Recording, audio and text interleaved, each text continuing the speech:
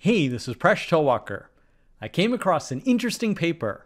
When masters of abstraction run into a concrete wall, experts failing arithmetic word problems. The abstract asks Can knowledge about apples, cars, or smurfs hinder our ability to solve mathematical problems involving these entities? They actually found experts were failing at certain word problems. Are you going to run into the same issue? To find out, let's do a simple two question quiz. Question 1 Slouchy Smurf is a certain height. He climbs on a Smurf table.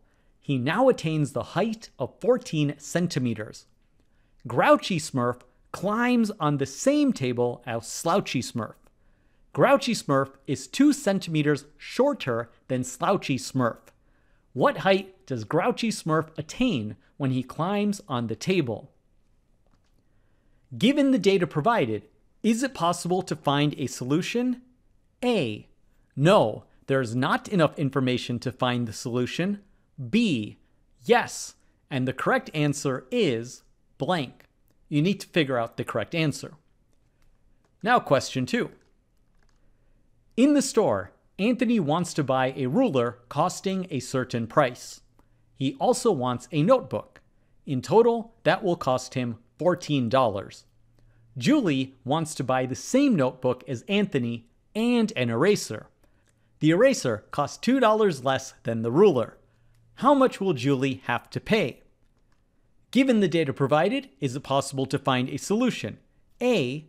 No, there is not enough information to find the solution. B. Yes, and the correct answer is blank. Fill in the correct answer. So let's go over the answers to these questions. So, question one Slouchy Smurf is a certain height. He climbs on a Smurf table. He now attains a height of 14 centimeters. So we have a table, We'll represent Slouchy Smurf by a mushroom, and he's on top of the table, and the total height is 14 centimeters. Grouchy Smurf climbs on the same table as Slouchy Smurf, and he is 2 centimeters shorter. So we subtract 2 centimeters. What height does Grouchy Smurf attain? Well, this will be 14 minus 2, which is of course equal to 12 centimeters.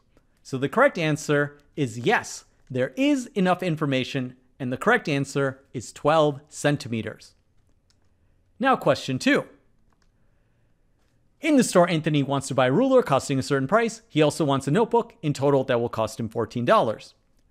So if R is the price of the ruler, N is the price of the notebook, we have R plus N is equal to $14.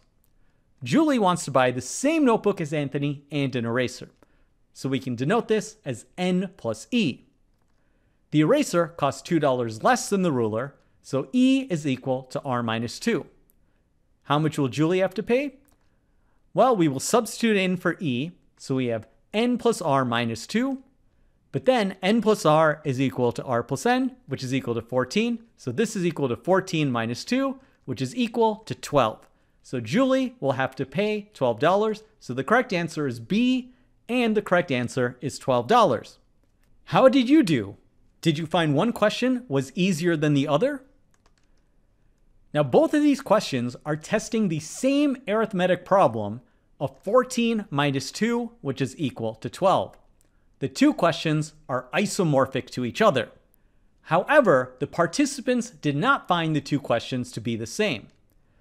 Question two was asking about price, and question one was asking about height. Height is a kind of number that we imagine on an axis or a number line, which is an ordered number. We think about distance, duration, and floors as types of ordinal numbers. On the other hand, price is a type of number we think more about as a collection of a set. So we think about collections, price, weight, these have a size, but they're not in any particular order, and we call these cardinal numbers.